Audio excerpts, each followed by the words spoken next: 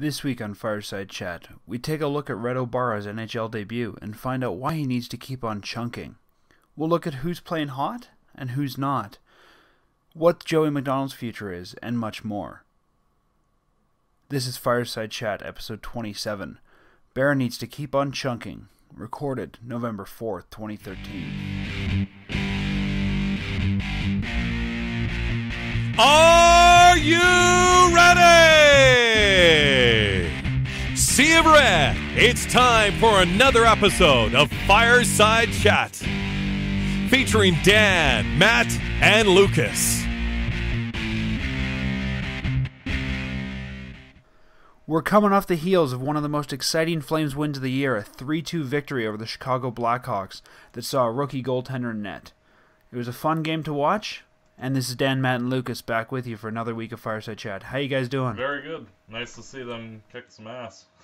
I'm fired the f- up. And I think the big story from last night was the fact that Reto Berra came up from the farm, the guy that, you know, has been there, has always been kind of that number three, but everybody I think knew was really the number two, um, or the team wanted to be the number two, and played a fantastic game. I mean, he did not look like a guy that never played an NHL game before, did he? He didn't look like a guy who played an NHL game for us this year.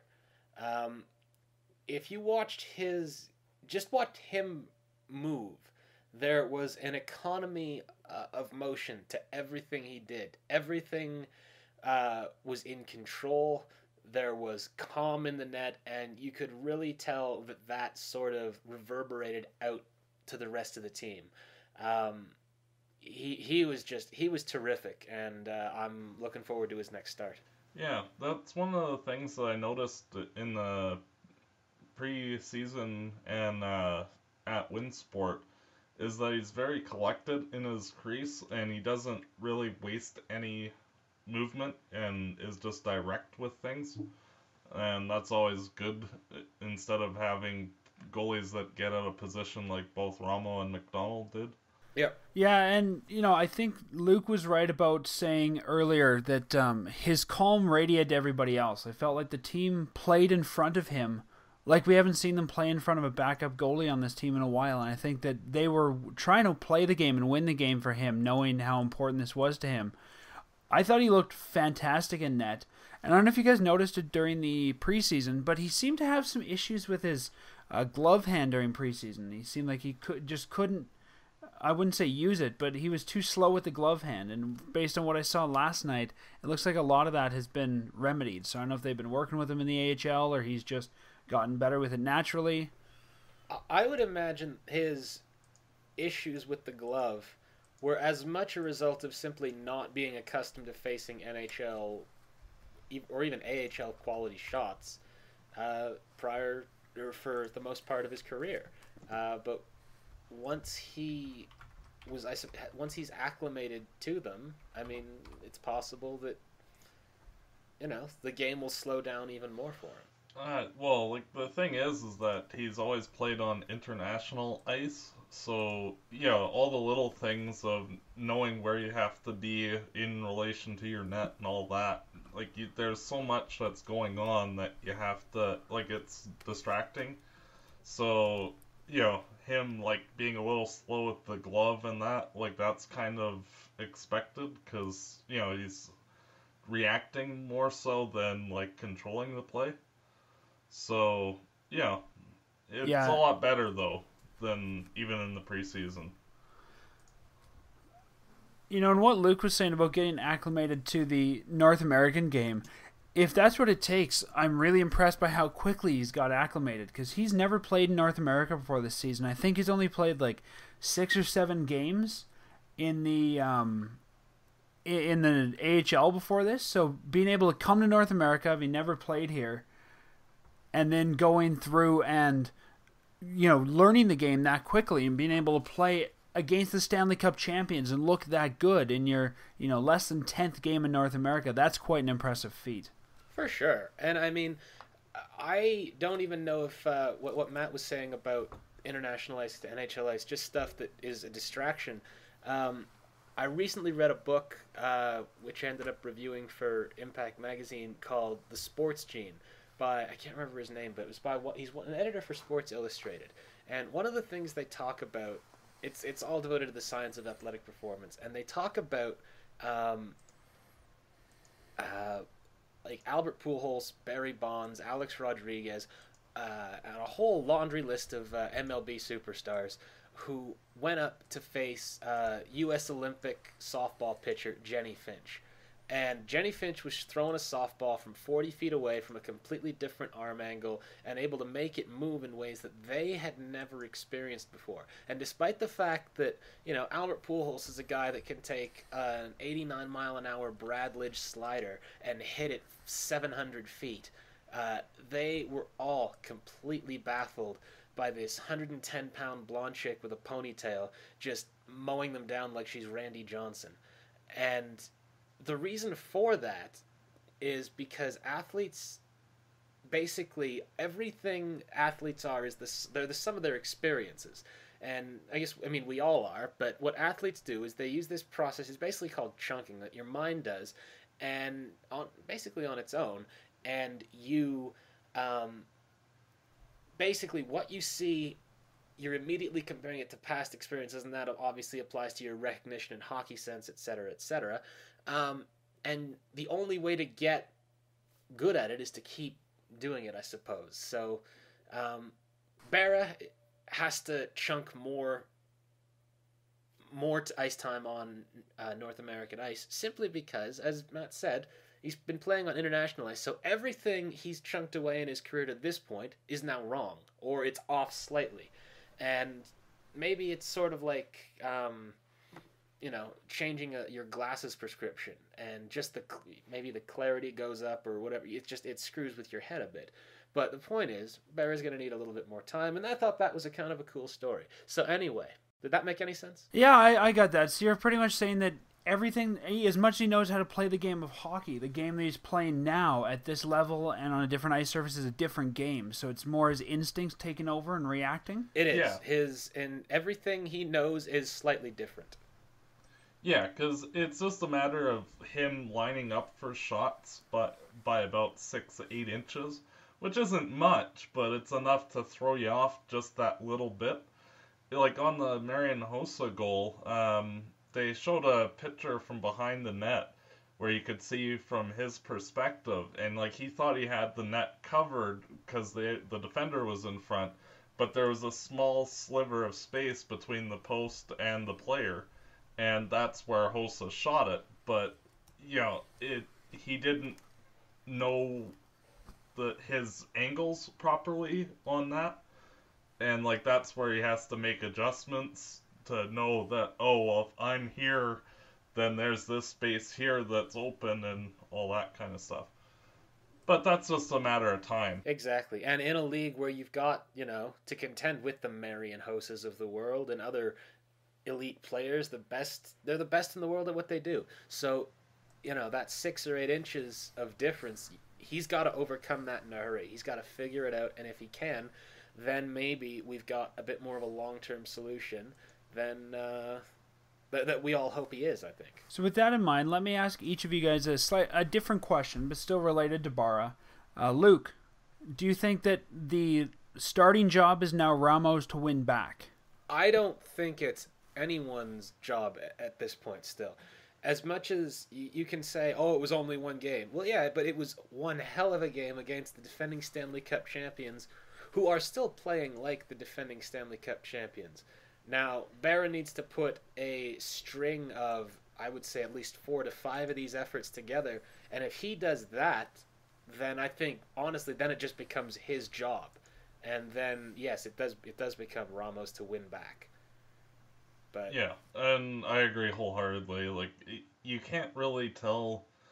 Like each of the goalies that we have now, like they have so little experience that you know, in one game to the next, who the heck knows what you're gonna get. So, you know, they need to establish themselves with a pattern of performance before you know making any determination.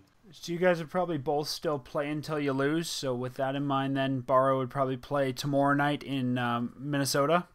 I I agree, I, would say yes, but I don't even think at this point it's a play until you lose. I think it's play as long as you're playing well.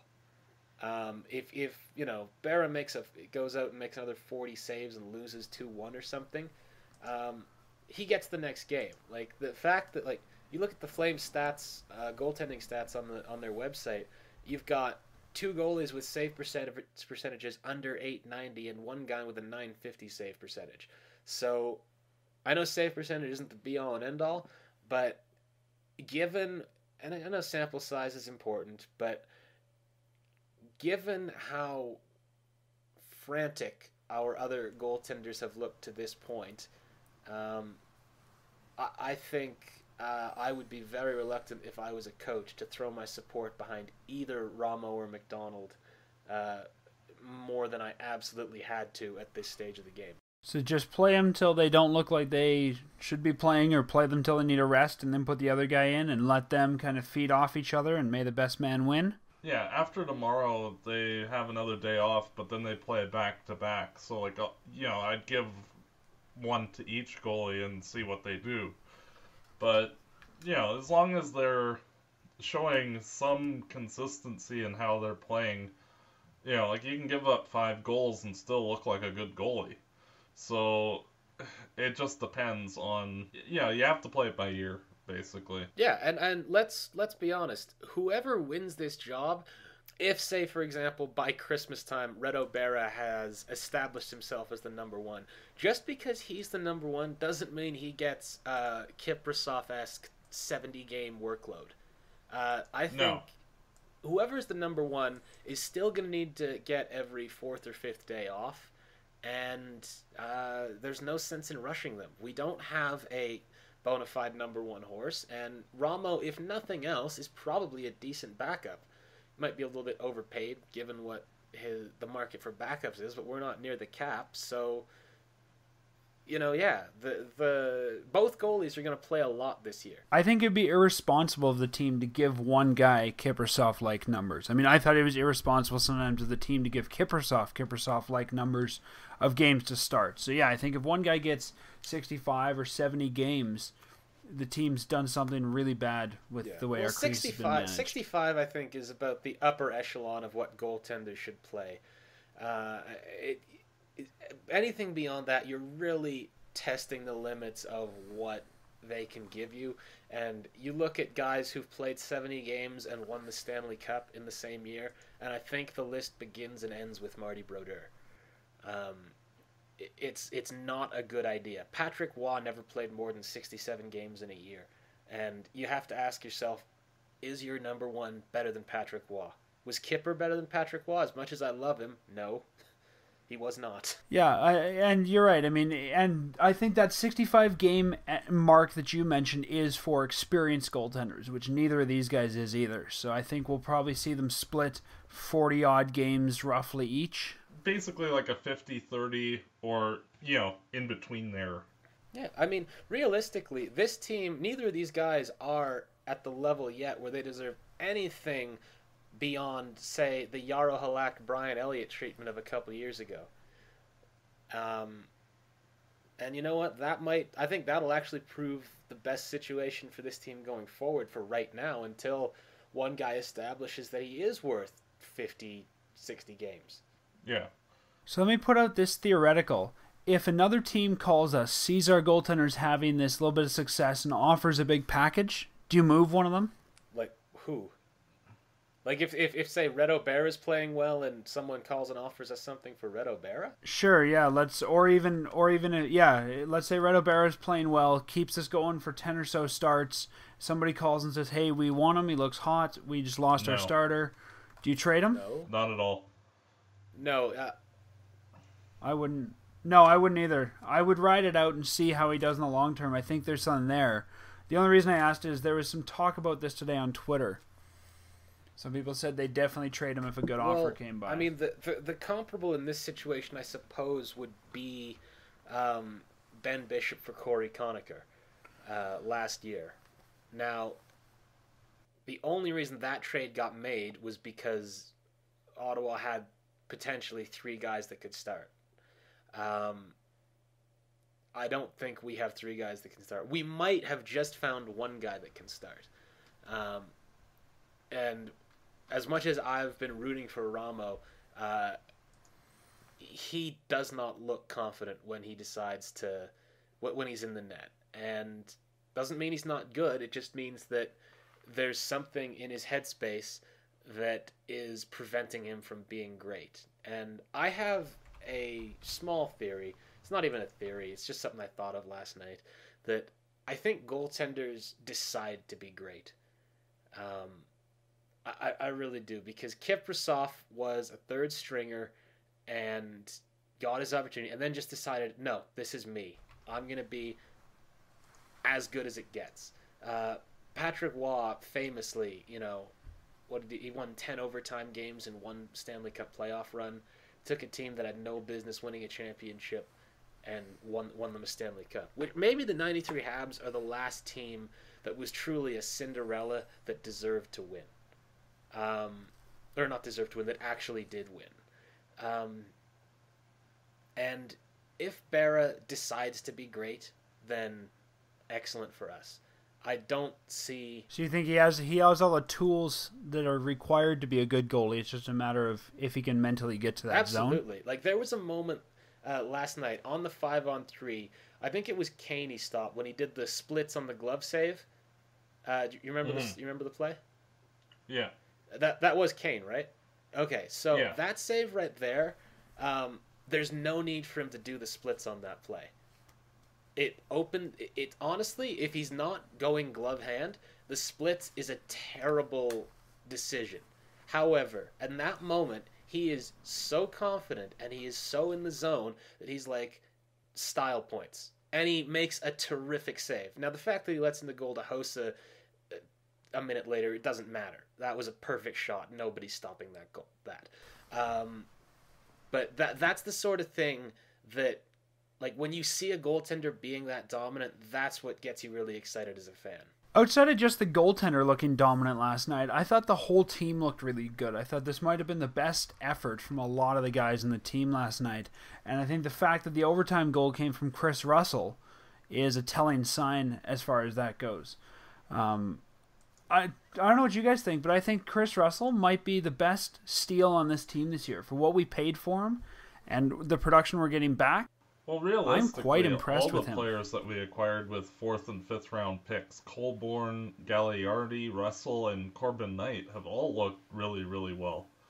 You know, and I can't complain with a single one of them. They're all looking like pieces that you'd actually keep on the team for a few years. Yeah, for sure. I mean, Russell, I've been pleasantly surprised. I thought Russell was going to be in that dogfight for the six seven spot because I knew very little about him at, beyond the fact that he played for Canada's World Junior team a couple years ago.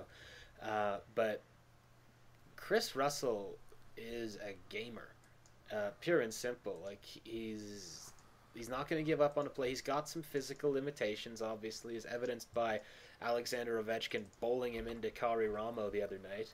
But I mean, let's put it this way: if you put Chris Russell's heart in Jay Bouwmeester's body, you'd have a Norris winner. You'd, you'd be talking like the best defenseman in the league, hands down.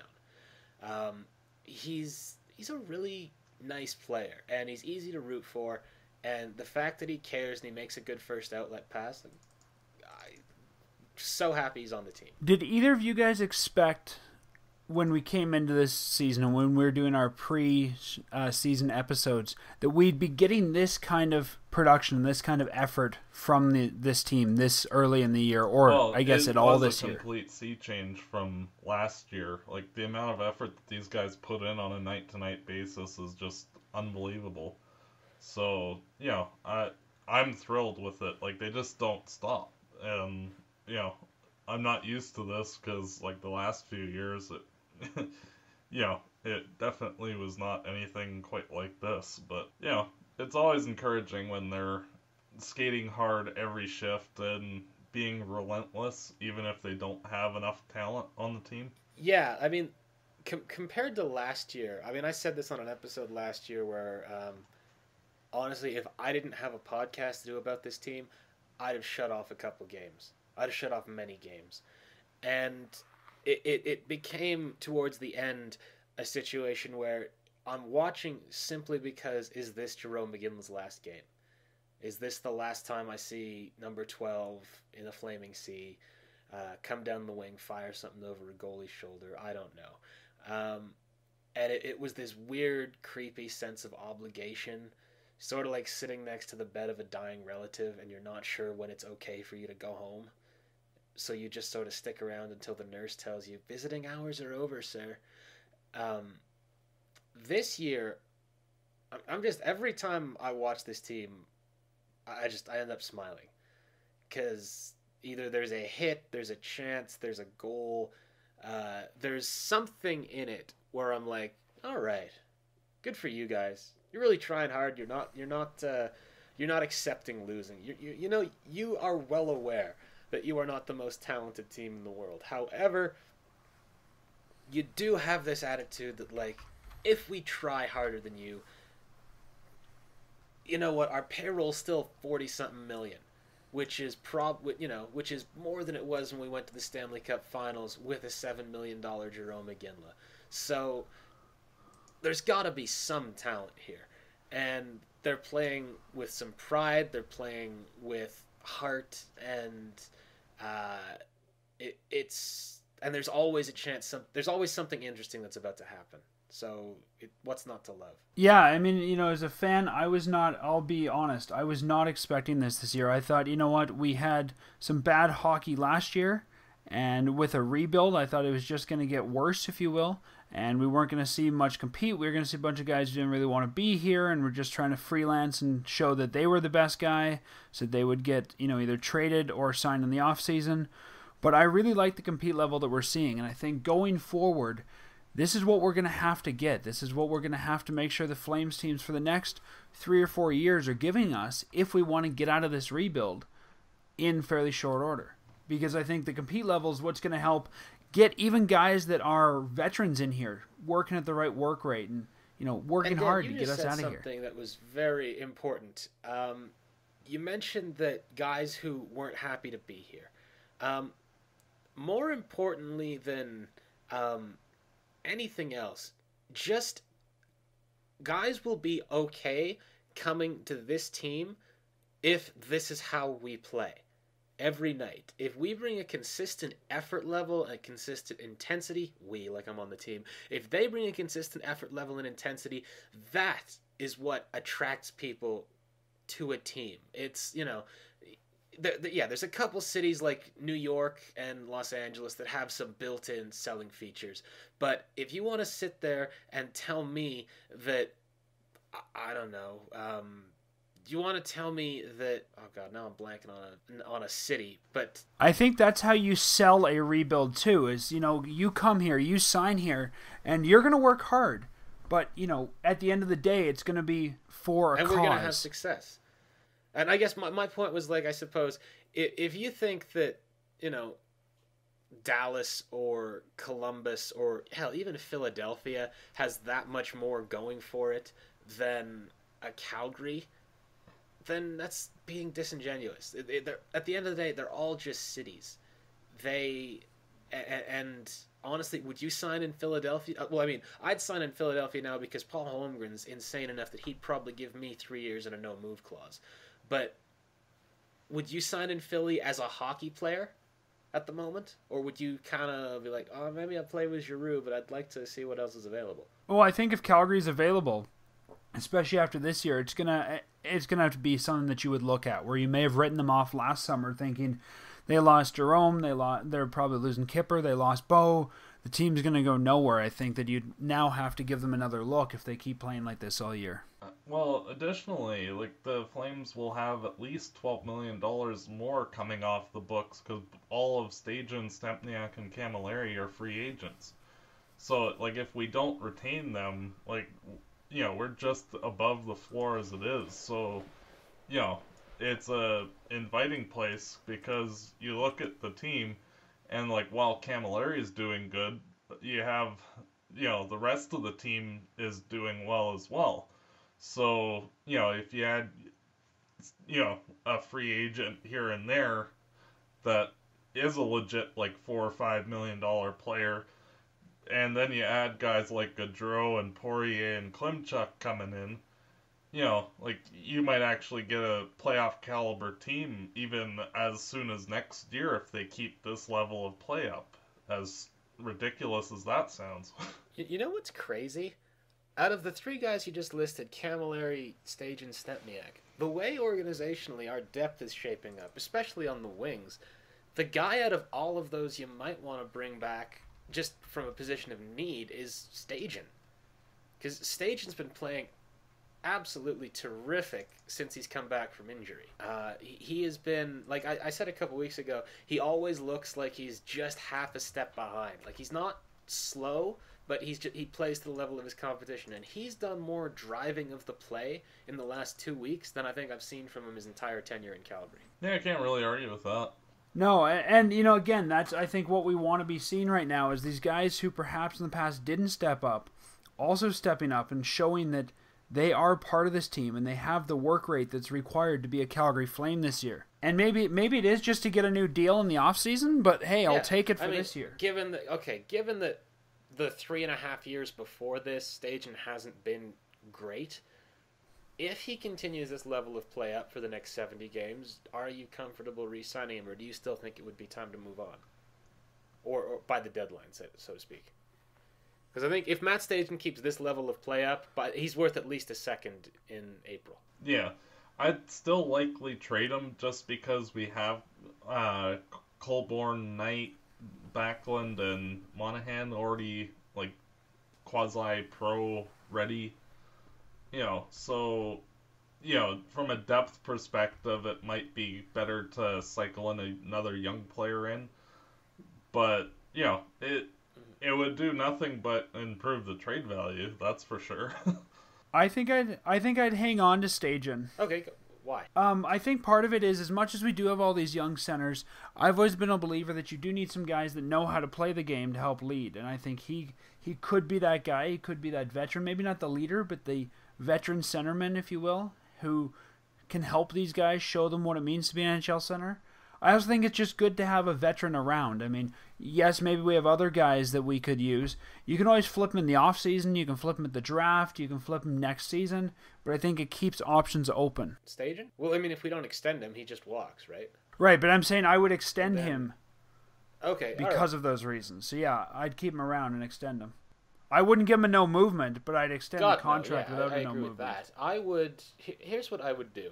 I would keep him in the sense that if all you're going to do is go out and sign another fringe top six centerman who's not had a lot, if any, playoff experience, um, then just keep Stajan because you'll probably be able to get a hometown discount or something.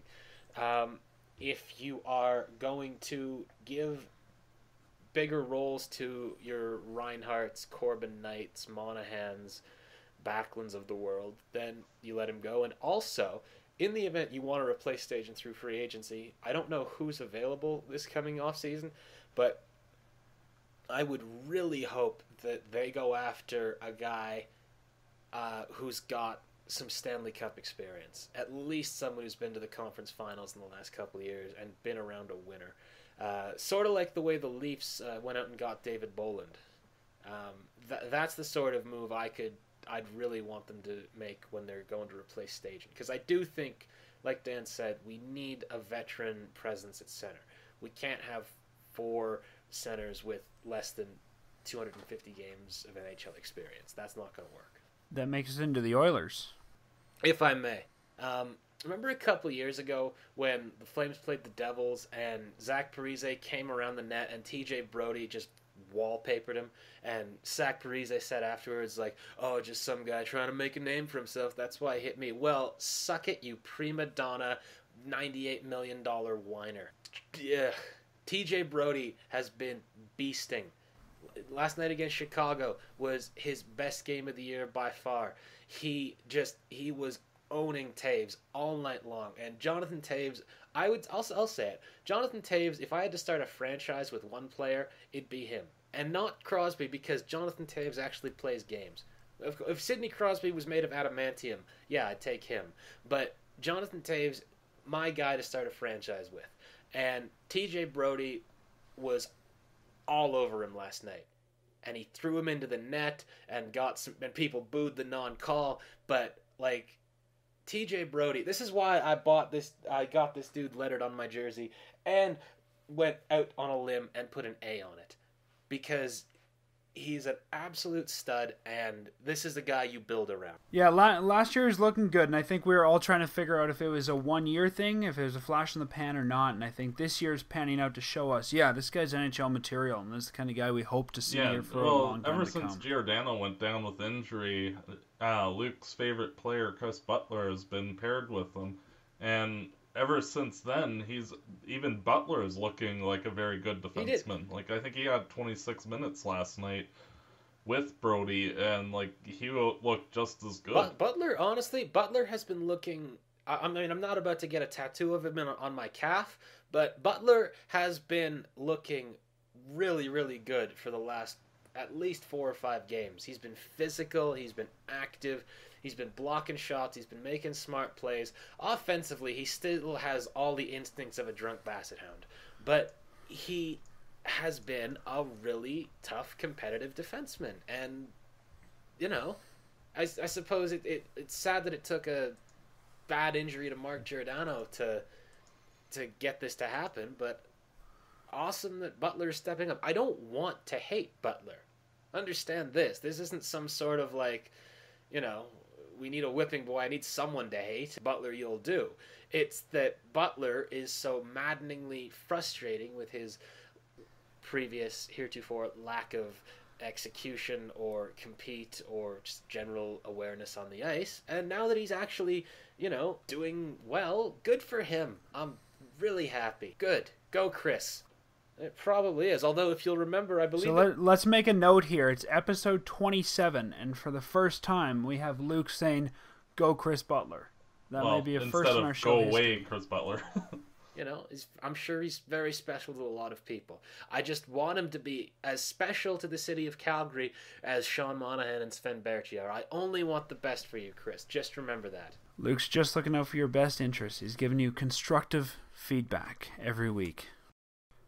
So, with everything that's happened with Berra coming up and all the uh, praise that we've given him this week, we have to remember that means somebody else had to sacrifice a spot on this team, and that was Joey McDonald, who's now cleared waivers. Nobody took him, even though he was free to be taken by any of the other 29 teams, and he's now sitting in the AHL. And I asked you guys this question before we started recording tonight.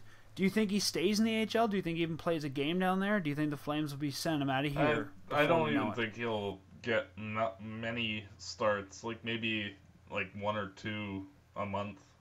Yeah, the development time is for Ortio and Brossoit.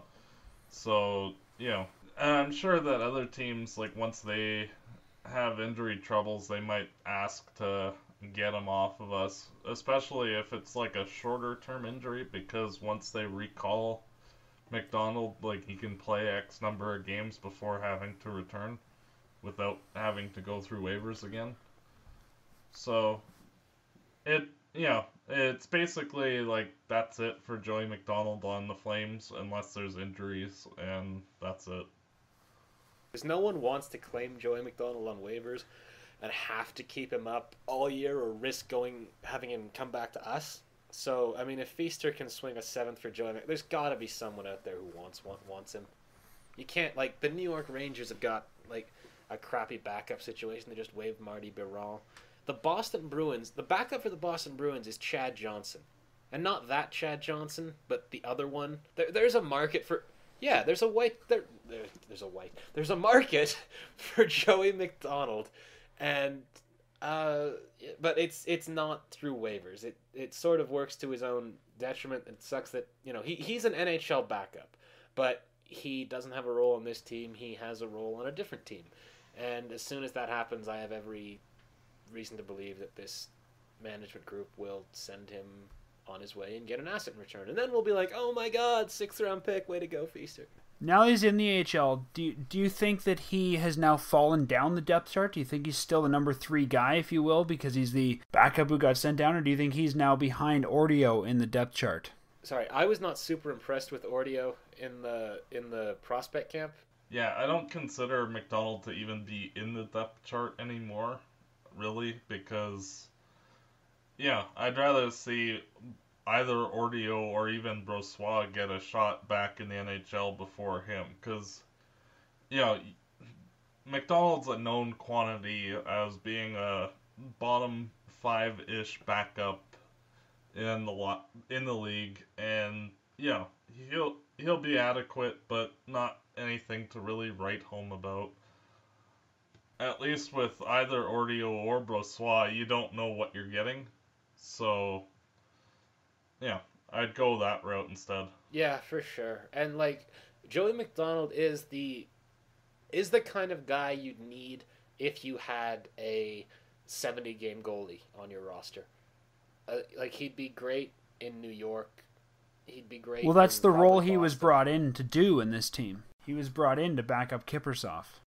Yeah, fair enough. So yeah, I mean that's that's his role. Like hell, I mean if he went back, well, not to Detroit because they've got Mrazek and Gustavsson. So I mean, that I think there's a place for him, but he's a 33 year old known quantity, as Matt said, or commodity. Um, Yeah, I think he'll be an NHL player again, just not in a flaming sea. I think that they'll find a home to move him to, and he'll, you know, I mean, if Curtis McElhinney can keep an NHL job, Joey McDonald will be able to keep an NHL job. So I think we'll see him in the NHL again, just not here. I think you guys are right. He's off the depth chart. His time is done. Well, I guess, you know, other guys that perhaps are having a rough time here in Calgary, besides um, just McDonald, would be some of the rookies. And we've seen some interesting handling of the rookies, I guess, over the past couple days. We've seen Baertschi, Backlund, and I believe Bouma all benched in the last couple games. Are you guys surprised to see that the rookies are getting benched and other guys getting some ice time instead of them? Not at all. Like this is what a rebuilding team needs is a coach that's willing to sit people if they're not performing as good as their talent level should be producing. Like Sven Baertschi realistically should be at least a 50 to 60 point player in the NHL.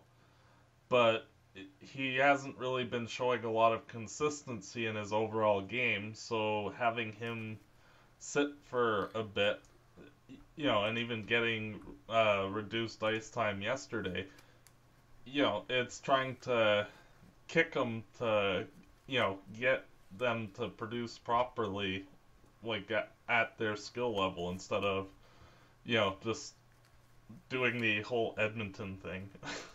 yeah, just because your birthday starts with a 19.9 uh, doesn't mean you get preferential treatment when it comes to ice time. Um, that's what happens to the Oilers. Now, the Oilers, in I suppose their defense, probably thought that with all the games their young players missed due to injury, that was as good as sending out as healthy scratching them so they could learn something. But our guys actually, you know, they need to be held accountable. And if anyone thinks that, as much as I love Sven and hell Backlund, um, if they've been not if if they're beyond reproach, uh, y- well, you're wrong. They, you know, th- there's been lots of stuff to like about their both of their games, but to say that both of them couldn't benefit from once every 10 games watching from the press box and just achieving uh, you know being given a measure of humility and perspective uh, I, I've got no problem with it. And I applaud Hartley for having the balls to not uh, bow to young players just because they like they're young. That like there, there's more to it than that I think some of this goes back to what we were talking about earlier with the work rate of this team, and I think everyone's expected to contribute something, and I think everyone has a different level. And like you said, good on Hartley that if you're not producing and you're not doing what this team needs you to do, you're going to sit down and think about what you need to do, and someone else will take your spot. And good for us for having the depth, even if it is Jackman, that we can slot a guy into that spot when that happens. Well, like it's not like he's being Hartley's being unrealistic with ice time and like the rookies are getting eight minutes a night regardless of how good they do. Like we've seen with both Brodie and Joel Colborne, like they're both performing well and then you see their game ice time increase a bit here, a bit there, and you know, then they're playing 20 plus minutes a night or in Brodie's case, nearly 30 minutes. You know, because they're actually responding positively with their ice time. Like I think Colborne had two assists last night. You know, and he's been consistently getting better offensively. So, you know, it's not unrealistic that he should get more ice time because he's actually stepping up and playing well. Rewarding those who play well. What an interesting concept. Yeah, I mean, Joe Colborne is one of those guys who I've been looking at him and just hoping he'll, or not hoping, I'm, I'm, I'm waiting for him to break out because he's involved, he's engaged. There's stuff that's nearly happening for him, but it's not quite. And I mean, he's. I, I'm just looking at the summary last night. Colborne had just the one assist, but I mean, he he's getting better. And you know what? Despite the fact results might not be there yet, he's got some chemistry with Galiardi and Cammalleri. He's seeing the ice very well, and his size is a definite asset on a line with a five foot eight or whatever it is, Mike Cammalleri. Um, and especially with Galiardi also wreaking havoc there, like they're really effective. And you know, goes back to all these great moves we've made with fourth and fifth round picks. Like Colborne's been terrific. I, I think anyway, as much as you can expect him to. Like if you expect him to come in and be Joe Thornton, well then you're just setting your own, yourself and the kid up for uh, crushing disappointment. But yeah, I think he's played better than expected, and that's really what we can expect from him. Is better than what we're expecting him to do. He's not a star by any means, but he's pulling his own weight and he's contributing positively to the team. It's been a couple weeks since we've all been live. Uh, last week was the jersey unveiling, and we didn't do a show last week together, all three of us. Um, but the Flames played a lot of games and a lot of road games over the past two weeks. Um, any particular games or moments of games over that time that anyone wants to highlight or talk about or point out? Well, the effort level in each of the games was there. And that to me is the most important thing. Like, yeah, there was that Dallas game where we lost 5 1, you know, and on and on and on.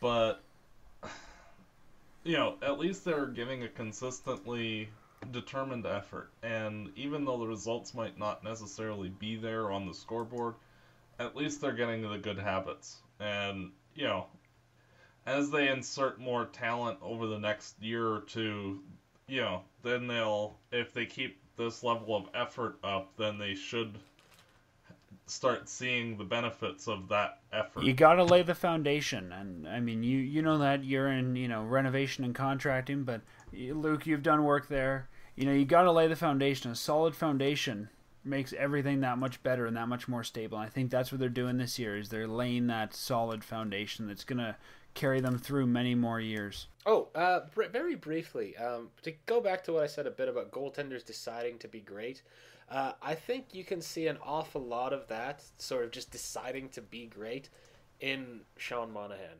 And that's the sort of thing, one that makes him that you know I'm sure that that made the Flames pick him with the sixth overall pick, but also the it's the sort of thing that tells you this is our next captain. Does anyone think there's any chance that Sean Monahan's not given the C when it comes available after 10 games or 13, whatever?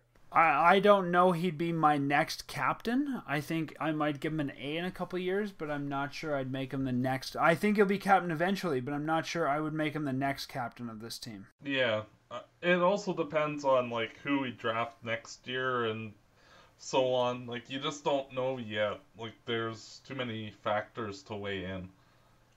But yeah, he definitely will be a leader on the team. You know, even if he, you know, it's like uh, when uh, Conroy was the captain, you had Iginla there in a leadership role, even though you know he didn't have the C. So you know what I mean? Like, and you need, you know, you can't have just like one guy being like the go-to leader. You need like f- four or five. No, definitely, I understand that. I'm just thinking that when Giordano either, I, I mean, when Giordano moves on or perhaps just decides to give up the C, which I don't, I don't necessarily know if that's necessarily that's not in the cards right now. I'm not saying don't give up the C yet, Gio. You're, you're a great captain.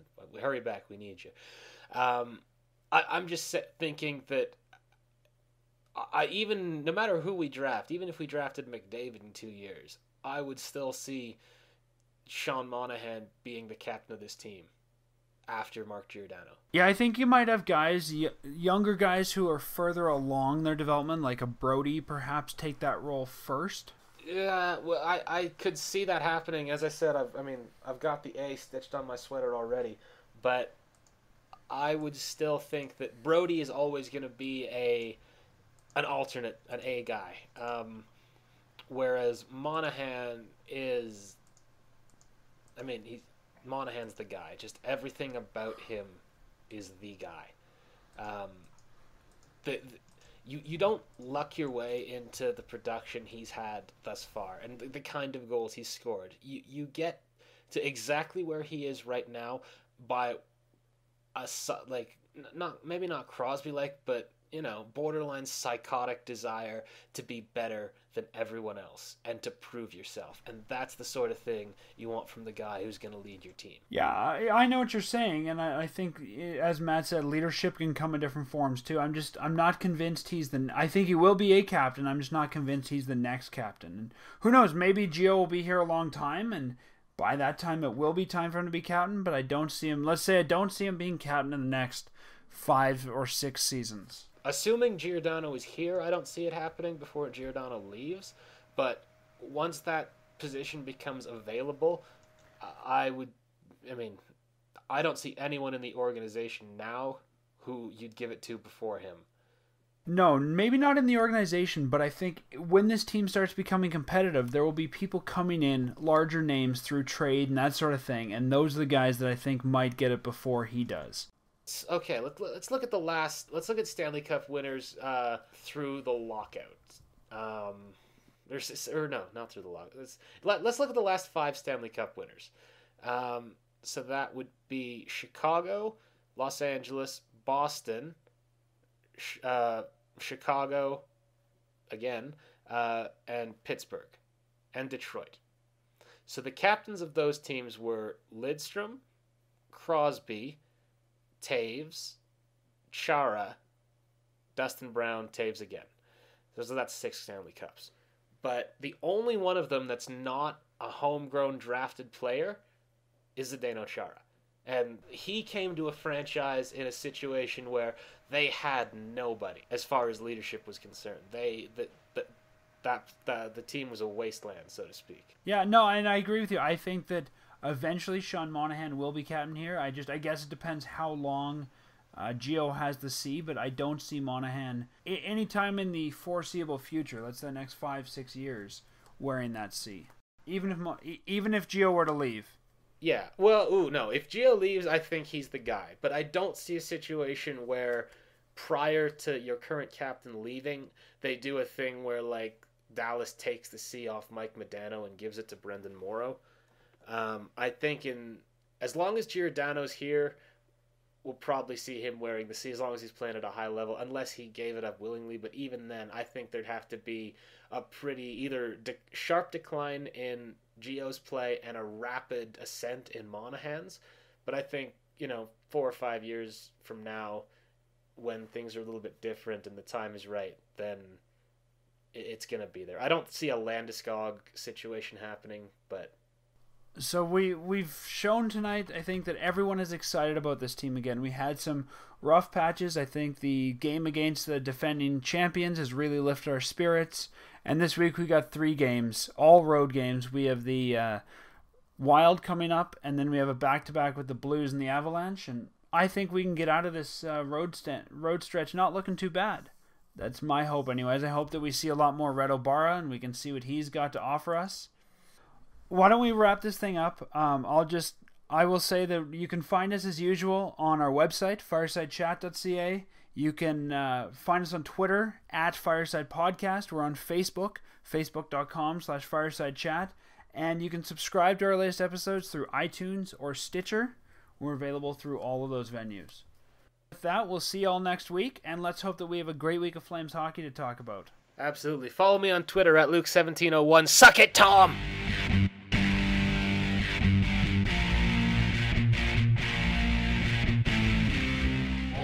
The boys of chorus. We hope you like our show. We know you're rooting for us, but now we have to go. Fireside Chat podcast produced and edited by Dan Stevenson.